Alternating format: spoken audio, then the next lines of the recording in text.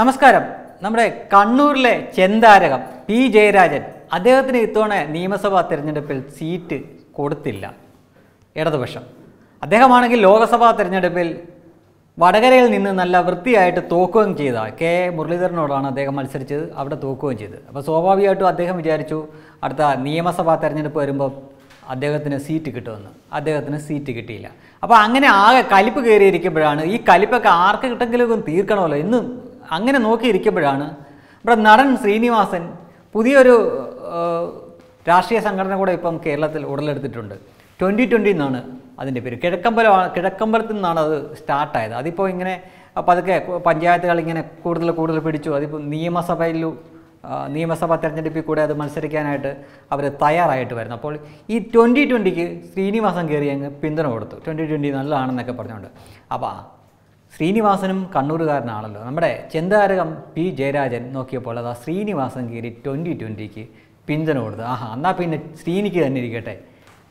ശ്രീനിക്ക് തന്നെ ഇരിക്കട്ടെ എന്റെ കലിപ്പല്ല എന്ന് വിചാരിച്ച് ശ്രീനിവാസൻ ഒരു നിലപാടില്ലാത്ത ആളാണെന്നും ചാഞ്ചാട്ടക്കാരനാണെന്നും അദ്ദേഹം നേരത്തെ എ വി വി പി അല്ലെങ്കിൽ ബി ജെ പിയുടെ അനുഭാവിയായിരുന്നു സംഘപരിവാർ അനു അനുഭാവിയായിരുന്നു എന്നൊക്കെ പറഞ്ഞിട്ട് ഒരു ഡയലോഗ് അങ്ങ് വെച്ച് കാച്ചി ഇപ്പം നടൻ ശ്രീനിവാസനാണ്. അദ്ദേഹം അഭിനയിച്ചിരിക്കുന്ന സിനിമകളിൽ ബഹുഭൂരിപക്ഷവും അദ്ദേഹം വല്ല മണ്ടനോ കഴിവില്ലാത്തവനോ അല്ലെങ്കിൽ നായകന്റെ എർത്തോ ഒക്കെ ആയിട്ടായിരിക്കാം അദ്ദേഹം അഭിനയിച്ചിരിക്കുന്നത്. പക്ഷേ യഥാർത്ഥത്തിൽ ശ്രീനിവാസൻ എന്ന വ്യക്തി ആ ശ്രീനി എന്ന ആ പച്ചയായ മനുഷ്യൻ അതിബുദ്ധിമാനായിട്ടുള്ള വ്യക്തിയാണ് അദ്ദേഹത്തിനോട് അദ്ദേഹത്തിന്റെ അടുക്കലോട്ട് ഒരു ബോൾ ഇട്ട് കൊടുത്താൽ അടിച്ച് ഗോളാക്കാൻ അതിവിദഗ്ധനായിട്ടുള്ള വ്യക്തിയാണ് ആ ശ്രീനിവാസന്റെ അടുക്കലോട്ടാണ് നമ്മുടെ കണ്ണൂരിലെ ചെന്താരകം അഭ്യാസമായിട്ട് ചെയ്യുന്നത്.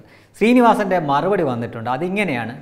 എനിക്ക് ഒട്ടും ബുദ്ധിയില്ലായിരുന്നപ്പോൾ ഞാൻ എസ് എഫ് ഐയിലായിരുന്നു പ്രവർത്തിച്ചിരുന്നത്. അതിനുശേഷം എനിക്ക് കുറച്ച് ബുദ്ധിയായപ്പോൾ ഞാൻ കെ എസ് യുവിൽ വർക്ക് ചെയ്തു. അതിനുശേഷം എനിക്ക് ശരിക്കും ബുദ്ധിയായപ്പോൾ ഞാൻ എ വി വി പിയിൽ വർക്ക് ചെയ്തു. അതായത് അദ്ദേഹത്തിന് ശരിക്കും ബുദ്ധിയും നല്ല ബോധമൊക്കെ വന്ന സമയത്ത് അദ്ദേഹം എ ബി വി പിക്കാരനായി എന്നാണ് അദ്ദേഹം പറയുന്നത്. ഇപ്പോൾ അദ്ദേഹം ട്വന്റി ട്വന്റി ട്വന്റി ട്വന്റി എന്ന പ്രസ്ഥാനത്തിനാണ് പിന്തുണ കൊടുക്കുന്നതെന്ന് പറയുന്നു. അതായത് ഇവിടെ നിന്നും ചിലപ്പോൾ ഇനി മാറിയേക്കാമെന്നും അദ്ദേഹം പറയുന്നുണ്ട്. അതായത് അത് ഇന്ത്യ ഇന്ത്യയിലെ ഭരണഘടന ഇന്ത്യയിലെ ഭരണഘടന പ്രകാരം ഒരാൾക്ക് എത്ര പാർട്ടിയിലും ചേരാമെന്നും ഇതെല്ലാം താൽക്കാലികമാണെന്നും ഒക്കെയാണ് ശ്രീനിവാസൻ പറയുന്നത്. അപ്പോൾ ചുരുക്കി പറഞ്ഞ ശ്രീനിവാസൻ പറഞ്ഞ പറഞ്ഞതിന്റെ രത്ന ചുരുക്കം ഇതാണ്. ഒട്ടും ബുദ്ധിയില്ലാത്ത ഒരാളത്രേ ഈ എസ് എഫ് ഐയിലും മറ്റുമൊക്കെ പ്രവർത്തിക്കുന്നത്. അപ്പോൾ അതിന്റെ തന്നെ വലിയേട്ടന്മാരാണ് ഈ സി പി എം പോലുള്ള സി പി ഐ പോലുള്ള പ്രസ്ഥാനങ്ങൾ. അപ്പോൾ അതിൽ പ്രവർത്തിക്കുന്നവർക്കൊന്നും ബുദ്ധിയില്ല എന്നാണ് ശ്രീനിവാസൻ പറഞ്ഞു വെച്ചത്. പിന്നെ കുറച്ച് ബുദ്ധിയൊക്കെ ആകുമ്പോൾ കെ എസ് യു പോലുള്ള പ്രസ്ഥാനങ്ങൾ പ്രവർത്തിക്കും. അതിന്റെയൊക്കെ വലിയേട്ടന്മാരാണല്ലോ ഇന്ത്യൻ നാഷണൽ കോൺഗ്രസും അതുപോലുള്ള ഈ കോൺഗ്രസ് തന്നെ ഗ്രൂപ്പുകളുണ്ട്. ഐ ഗ്രൂപ്പ് എ ഗ്രൂപ്പ് എന്നൊക്കെ പറഞ്ഞുണ്ട് അപ്പോൾ ഒരു കുറച്ച് ബുദ്ധിയൊക്കെ വരുമ്പോൾ ഈ കോൺഗ്രസ്സുകാരനായിട്ട് ഒരാൾ ഒരാൾക്ക് പരിണാമം ഉണ്ടാവുമെന്നാണ് പറയുന്നത്. നന്നായി ഈ ബുദ്ധിയൊക്കെ തെളിഞ്ഞു കഴിയുമ്പോൾ ആ ആൾ എ വി വി പി പോലുള്ള സംഘപരിവാർ സംഘടനകളിലൊക്കെ പ്രവർത്തിക്കുന്നതാണ് ചുരുക്കി പറഞ്ഞു കഴിഞ്ഞാൽ ബുദ്ധിയുള്ളവരൊക്കെ ബി ജെ പിയിൽ പോയി പ്രവർത്തിക്കുമെന്നാണ് ഈ ശ്രീനിവാസം പറഞ്ഞത്.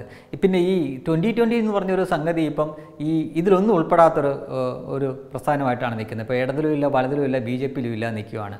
അപ്പം അദ്ദേഹത്തിന് ശരിക്കും മനസ്സുകൊണ്ട് അദ്ദേഹം ഒരു ബി ജെ പി അനുഭാവിയാണ് എങ്കിലും നമ്മുടെ ഈ പ്രബുദ്ധരായ മലയാളികൾ എത്ര നല്ല മികച്ച ആൾക്കാരാണെങ്കിലും നല്ല വ്യക്തിജീവിതത്തിൽ വ്യക്തി ജീവിതത്തിൽ ഒരു കറ പോലും പുരളാത്ത ആൾക്കാരാണെങ്കിൽ ബി ജെ പിനെ സപ്പോർട്ട് ചെയ്യുമ്പോൾ അയ്യോ ദാ ചാണകത്തിൽ വീണെന്ന് പറഞ്ഞുകൊണ്ട് ഇങ്ങനെ നിലവിളിക്കും.